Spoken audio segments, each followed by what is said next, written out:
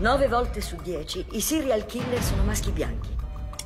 Dai 20 ai 35 anni. Questo tizio sta copiando un serial killer che è morto da almeno... Vent'anni.